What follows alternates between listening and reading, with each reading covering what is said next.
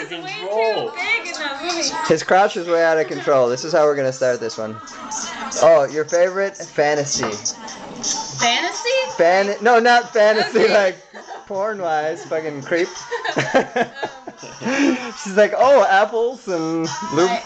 I- Okay. Thinking about, but- Yeah. Apples and lube. Apples. Um, no, I'm talking about like fantasy, like never-ending story, like Labyrinth, you know, like those type of flicks. Does the Goonies count? Goonies sort of counts. Yes, it's in there. It's in the ballpark at What least. movie is with uh, the guy from A Knight's Tale? What's his name? Is Keith? Heath Oh, Ledger. he's le- yeah, that's not a No, fantasy. not that one. But he's in the movie. It's like the Grimm or like Ooh. Grimm Brothers. The Grimm Brothers. That was a good movie. Uh, yeah, yeah, yeah, yeah. I remember that one. That was okay. That was alright. Um, David Bowie's nutsack, like, In embodied, embodied All the the way through the 80s fucking movie. fantasy. Why? Movies. It's not necessary. It was a gray bulge. It was an indifferent gray No, bulge. It was distracting. I was trying to watch a movie, not watch David Bowie's crotch. You had to watch it. It was You had there. no choice. It was. Hey, uh, here's a labyrinth. Crotch! You can't get around it. I saw my baby.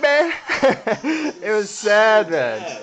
So bad. Yeah, good movie though. What? So, anyways, your favorite fantasy, both of you guys. If you could pick one top-notch movie to put in your ultimate category of fantasy movies, Honestly, mine's probably Dracula. Dracula, really? 1931. Ooh, is that the Lugosi. Nosferatu? No. Oh. This was after Nosferatu. Oh, Um, stop thinking about David Bowie's balls. Young Frankenstein. You Really? can't do that. You can't do that. You cheated. You just ripped his whole.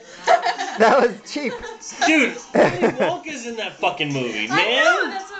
No, that doesn't make it awesome. That makes it cheesy. I, I do like Wonka. the way to go. Willy Wonka made a monster, and now it's cheese-tastic. yeah. My favorite was Labyrinth, by far. I loved Hoggle. Hoggle used to piss on fairies. he was like literally a fairy like pisser. It was the crotch too. I don't care. I'll admit it. He was walking upside down with his crotch dangling.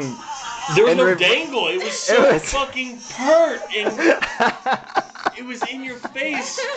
Nineteen-year-olds don't have perky boobies like that. It was in his crotch. Perky crotch. It was weird. Don't Perky crotch that. syndrome. it's, So it's a dilemma. awful. Yet an exciting experience for any, and it was pointed at the demographic of kids. That's the fucked up part. Hey Like kids, if you're crotching like fucking David Bowie, you're gonna fucking get lost in the labyrinth. he would juggle crystal balls.